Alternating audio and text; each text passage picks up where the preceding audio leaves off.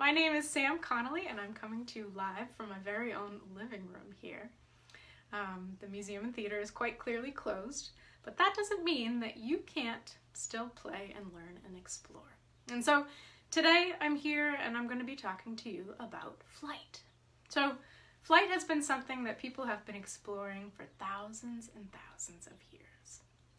And way before we had airplanes, people were thinking about how to make sure that something or how to make something move through the air. So, any guesses? What do you think people used to play around with? What do you think was the first thing that people used to think about airplanes? I'll give you a hint. It's lighter than air, but not by much. Any guesses? You probably figured it out. Today we're going to be playing around with paper airplanes. And you might think, well, that's pretty simple, and a lot of people have made paper airplanes. But like I said, they've been very important to all of us learning about how flight works. And people did, you know, sometimes people would make fun of these paper airplane experts because they thought that we would never be able to get in the air. But in fact, we did. So when you're making and when you're playing today, keep that in mind. Your inventions and your exploration might lead to something much bigger one day. So I'm not going to get into folds for paper, paper airplanes, but I am going to link some down below. There's tons and tons of resources, but I want to give you a little bit of background info. So when you're making your airplanes, you can explore a little bit and learn, when you're making your observations, you can kind of figure out what you want your goals to be. And if you have a little bit of background, you can troubleshoot if something isn't going right. So, paper is definitely, well, in order for something to fly, we want it to be able to move through air, right? And paper is definitely heavier than air. So if I drop my paper airplane, it's going to fall to the ground, right? So air is made up of molecules. You know that if you were at my marshmallows the other day, molecules are teeny tiny little little things all throughout the air, all throughout. Um, even though we can't see them, we know that they're made up of something, right? Teeny tiny little molecules. And they're always pushing on us all the time, just a little bit, and that's called air pressure. We know that there's something, we know that they're made up of stuff. So in order to get our airplane up in the sky, we want to be able to use those molecules to our advantage. Because we already know we have a disadvantage, right? We know our paper is heavier than the air, so it's going to want to fall. So how can we use those molecules to our advantage? All right, so we've already talked. We got to talk about forces. And we've got two forces that I want you to think about. So the first one is gravity. So that's the weight of your paper, and that's gonna make it fall.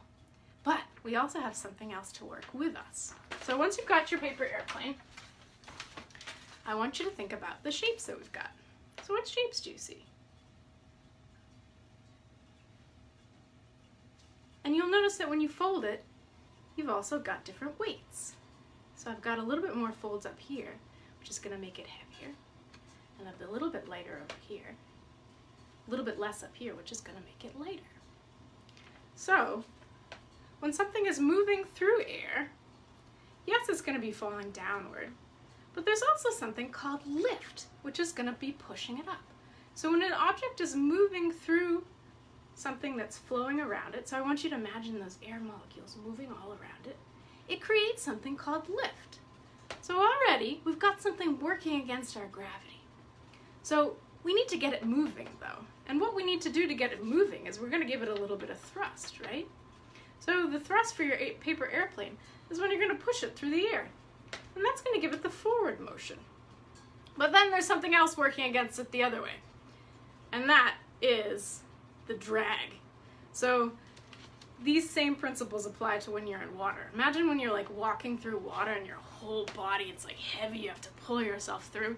That's the drag because we know air molecules are made up of stuff, you have to push and pull through them. Imagine like when you're moving in a foam pit. So your plane has to move, has drag. That's gonna be pulling it back that way. Our thrust, our force, is gonna push it this way. And then remember we've got weight, gravity going down, but we also have lift, which is that perpendicular force that's gonna help it go upward. So, you want to use all of these things to be thinking about your airplane today. Hi Thomas and Ursula, how you guys doing? Good morning. So, paper, we know real airplanes have a really special kind of thrust that keeps them going for a long time. and that's an engine that's in the back. Today you're going to be using your muscles.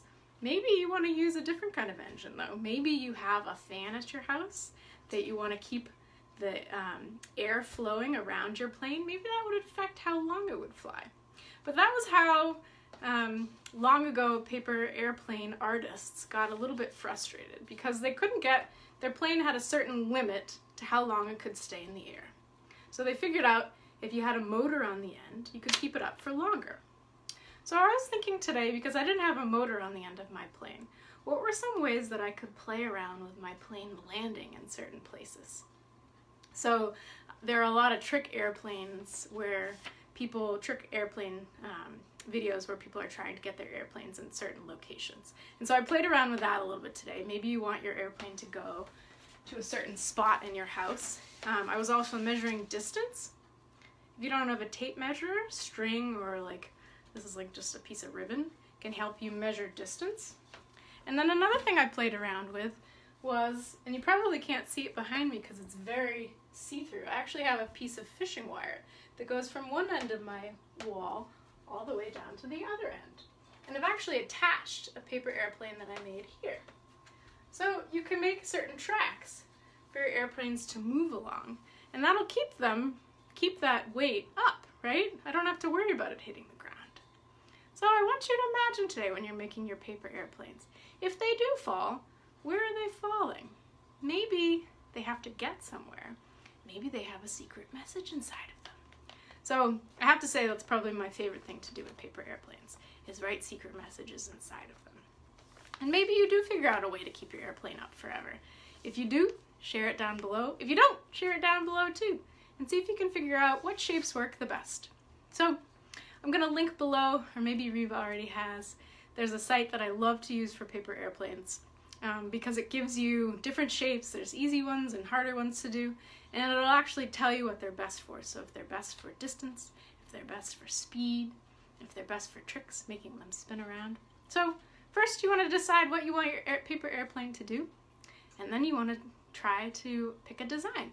Maybe you make your own design today, and that could be something neat you do too. All right, guys. Well, that's what I've got today. Have fun exploring flight, and don't forget that you are doing real science when you are playing today. All right? Take care. I'll see you guys tomorrow. Bye.